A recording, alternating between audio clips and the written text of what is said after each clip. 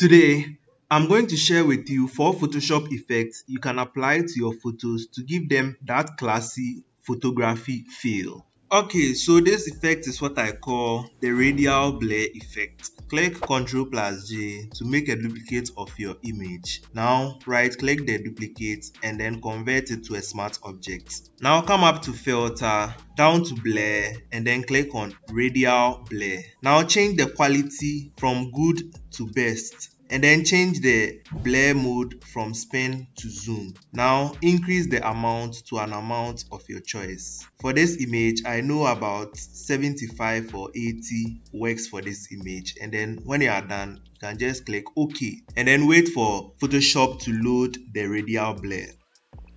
Now with your radial blur applied, come down and then click on the mask icon to create a mask for this layer. Now click Ctrl plus I to invert the mask. Now select your brush tool and then make sure the foreground color is color white. You can increase the size of your brush tool with the right square bracket key. Now after increasing it, make sure the flow is at 100% and then make sure the brush is a soft brush. Now paint back the radial blur onto the image. And as it's getting closer to your image, change the flow from 100 to 50% and then reduce the size of your brush with the left square bracket key. Now paint closer to your subject. Reduce the size of the brush tool and then click Z for your zoom tool. Now zoom into the image and then change the foreground color to color black and then select your brush tool again and then make sure the flow is at 100%. Now with your small brush, clean the unwanted blur from the subject.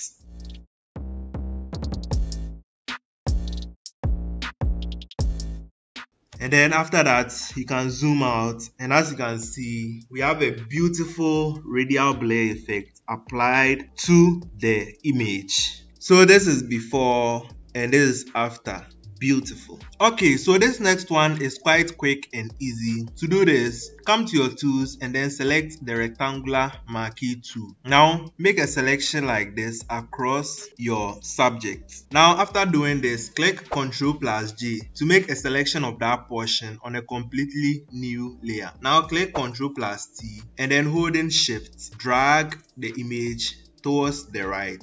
Now you can click enter. Now with the same layer selected, come down and then click on the mask icon to create a mask for that layer. Now come to your tools and then select the gradient tool. Now click and drag across to create a smooth transition from your subject to the effect. And as you can see, we've created this beautiful stretch effect you can use for your beautiful classic photos.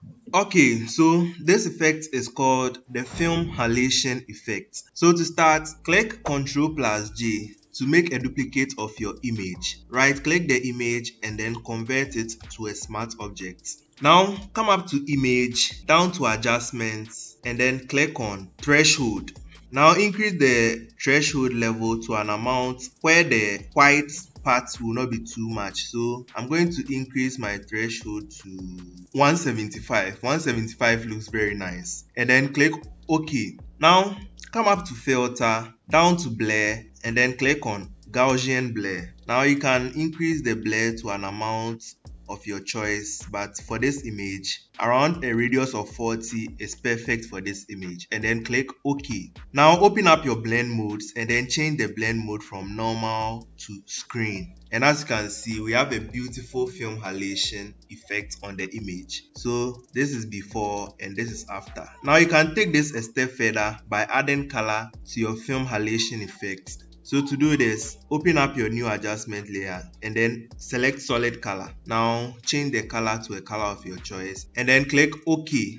Now holding Alt, click in between the solid color and the effect we've created to clip it to the effect alone and then change the blend mode from normal to either overlay or soft light. But soft light is okay and then you can change the color to a color of your choice. So something like a sunset color like this also is very nice for your image but I think I prefer it without the color. So there you have your beautiful film halation effect created using Photoshop. Okay, so this last and final effect is what I call the arc pixel stretch effect. To do this, we have to make a selection of the subject first. So I'm going to come to select and then subject. Now with the selection around the subject, click Ctrl plus J to make the selection on a completely new layer. You can use any method you like for the selection by the way. Right click on the layer with the selected subject and then convert it to a smart object. Now come to your tools and then right click the rectangular marquee tool and then select the single row marquee tool. Now let's zoom in. You can click Z for your zoom tool and then you can zoom in this way. Select the single row marquee tool again and then make sure the layer with the selected subject is selected and then click and drag across your subject now click Ctrl plus C and then click Ctrl plus V. Now you realize this thin line has been created. So let's zoom out for now. And then we have that thin line on a completely new layer. So click Ctrl plus T and then holding Shift drag up and then you can drag down as well to the length of your subjects and then click enter. Now you realize this pixel stretch effect has been created. Now you can click ctrl plus t and then let's rotate it 90 degrees. Now holding shift drag to the left and to the right. Now let's increase the volume as well. Let's make it big